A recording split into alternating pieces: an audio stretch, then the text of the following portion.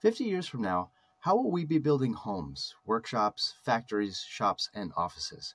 Just think of how the modern construction industry would have to change without access to fossil fuels. Concrete would be less available. Distant exotic materials would be too expensive. Even metal would become tough to get. Without motive power, we're stuck with the resources we have nearby. Or is there another way to think about the problem? This is the Low Tech Podcast. Hello and welcome. I'm Scott Johnson from the Low Technology Institute, your host for podcast number 64 on January 27th, 2023, coming to you from the Low Tech recording booth.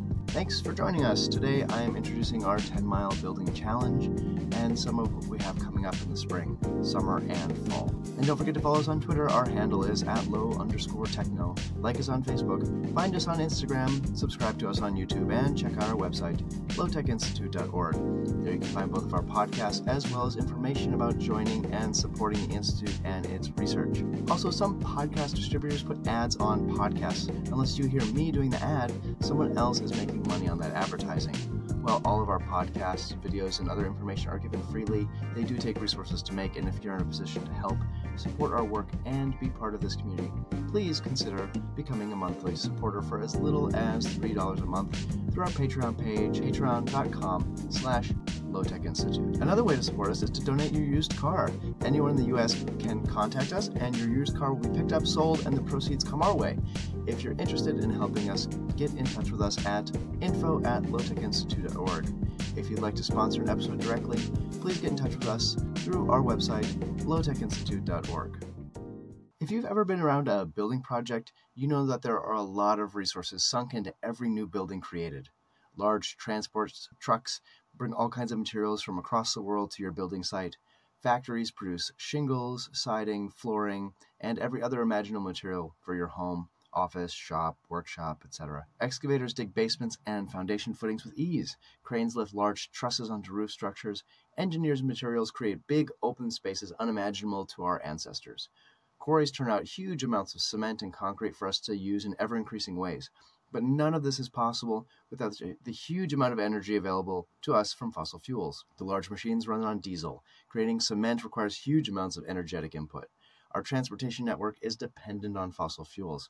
While factories might be able to run on electricity, they wouldn't have access to the raw materials they need to produce anything without fossil fuels. One way to quantify how much fossil fuels are embedded in construction is to look at carbon emissions. Unfortunately, it's really hard to nail down exactly how much carbon is emitted to construct, say, a house. Part of the problem is that let's say we use an excavator to dig a basement for a house. In addition to the diesel used, how much of the embodied carbon emissions to create the, the machine itself should be counted towards the basement carbon footprint? If an excavator works for, say, 10 years and it only takes a couple of days to dig the basement, does it just get a fraction of the embodied energy of that machine? So that's beyond what we're going to talk about today. The Materials Council did the math on some typical construction materials, comparing how much of each material you get for emitting one ton of carbon, which is a rough gauge of how much fossil fuel is used in their production. You get the least of things like aluminum, requiring an entire ton of carbon just to get 0.2 cubic meters of the metal. Steel is even worse, returning 0.04 cubic meters per ton of carbon emitted. And then if we move into glass, we start getting a bit more material per ton of carbon. Glass comes in at 0.44 cubic meters per ton, which is similar to granite at about half a cubic meter per ton. Synthetic things like vinyl and linoleum and rubber vary widely from rubber at quarter cubic meter per ton to linoleum's almost 0.69 cubic meters per ton. When compared to these materials, concrete seems actually pretty efficient at 3.2 cubic meters per ton of carbon emissions. But so much concrete is used for foundations, floors, driveways, buildings, walls, and other uses that it still accounts for a huge amount of energy use. When we move on to more natural materials, the carbon footprint goes way down. Even an engineered product like plywood returns as much as 3.58 cubic meters of material per ton of emissions. Wood itself, though, is by far one of the best materials you can possibly use. It gets as much as 9.8 cubic meters of softwood per ton of emissions, which is more than 27 times more volume than concrete or plywood.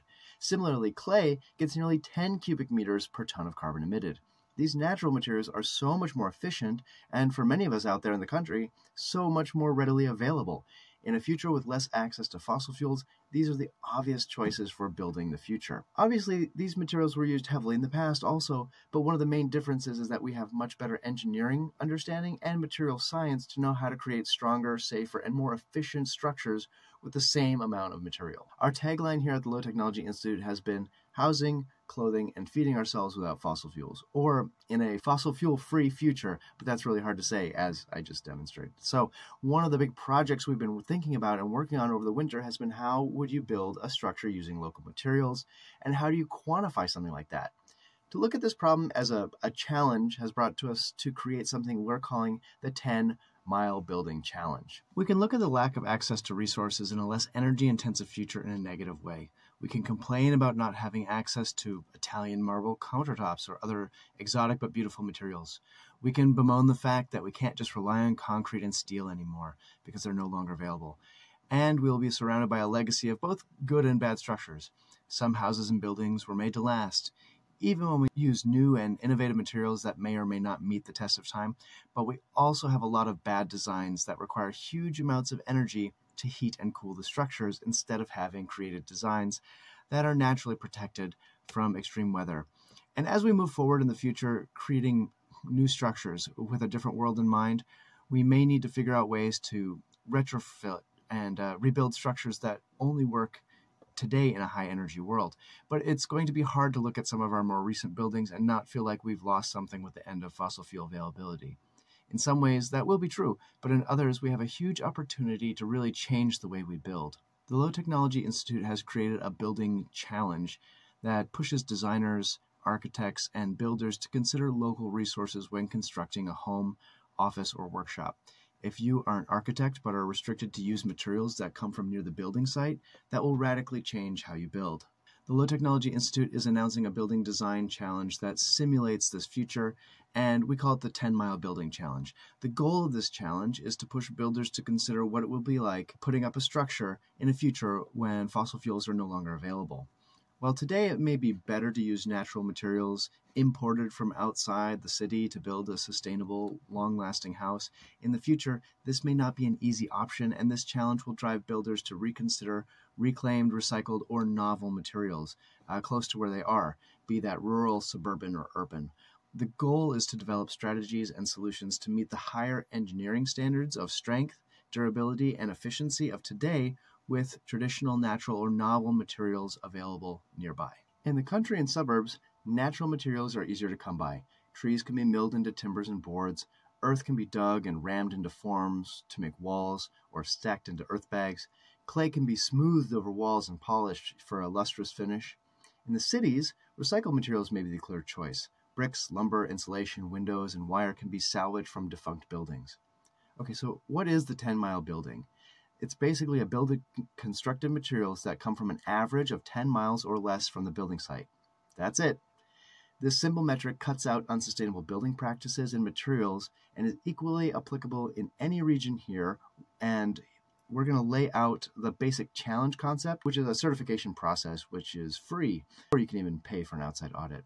Uh, but we'll go over additional utility certifications, uh, which also exist in another episode. Here, we're going to have an example right on the Institute grounds, and we're going to discuss more about that now. So, you might be thinking that you've heard about other building sustainable building certifications and wonder why we need something else.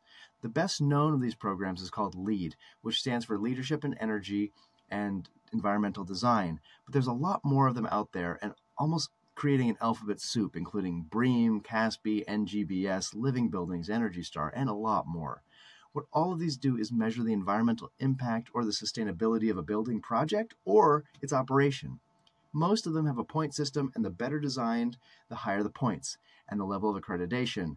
Uh, for example, out of a total possible score of 100, a LEED platinum building received over 80 points in their scoring rubric. The problem with scales like this, although we do think their goals are laudable, is that they're not understandable to an average person. I've been asking people over the last few months, what is a LEED building? Just to see what they would say. And most people come back with some sort of fuzzy statement about environmentally friendly construction methods. Unfortunately, this vague understanding permeates much of what is considered to be quote unquote green today. Furthermore, people who are building with real alternative sustainable methods and materials ignore these certifications because they are considered to be mainstream greenwashing. But most importantly for us, in a future without fossil fuels, we will have to drastically change how we construct buildings.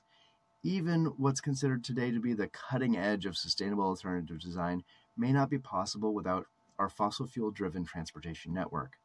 The 10 mile building challenge challenges is an artificial restriction to simulate some of the challenges designers and builders will be facing in a quarter century or a half century. Plus, when I said that most of the materials for this building come from less than 10 miles away, every visitor will immediately understand what that means. So, why use distance as a measure of sustainability? Why not use carbon footprint? Well, for one, a carbon footprint is really difficult to measure in a concrete way, and there's no pun intended there. Like I mentioned before, how much of the embodied carbon of an excavator should be attributed to digging a basement? Do you get to count the tires as they get replaced faster than the excavator? Right? There's just so many questions. It opens a can of worms that's not really feasible for a typical builder or designer to calculate. Distance, on the other hand, is really easy to measure, and so is weight. And the chances are the more sustainable something is to make, the more likely you are to find it locally. Complex chemicals must be created and combined, and this is done in centralized locations far away. Concrete, steel, aluminum, and synthetic chemical compounds are all made at factories, and they rely on transportation network to distribute them far away. Also, the more complicated a building product is, such as plywood, drywall, and synthetics, the more likely they're also made at one distant location and then shipped all over the world. None of this is feasible without fossil fuels. On the other hand, renewable materials like wood, straw, reusable things like stone and brick have been produced locally for centuries. They'll be available after fossil fuels are no longer around because they were available before fossil fuels were here. But sawing lumber, for example, can be done anywhere. Clay found across the globe, so so is straw and stone. Additionally, limiting builders and designers to use local materials will help architecture fit within its own landscape. Part of the cachet of Italian marble countertops is that they come from far away. This is called conspicuous consumption, which basically means spending money to show off. This challenge is the opposite of that. What beautiful structure can you build with what you have on hand? We already lived this challenge to some extent. We live in a house that was built in 1855. The bricks were dug from a clay pit just a block away. The wood was cut in a sawmill on the creek that runs through town. The doors and windows were made a block away in the now gone Hoxie Sash and Door Factory, which used a horse gin to drive the machinery. The fact that durable and beautiful houses could be built locally less than two centuries ago should tell us that this is completely feasible. Or more than that, since we have greater engineering and materials knowledge, meaning we could rise to this challenge to create even better structures.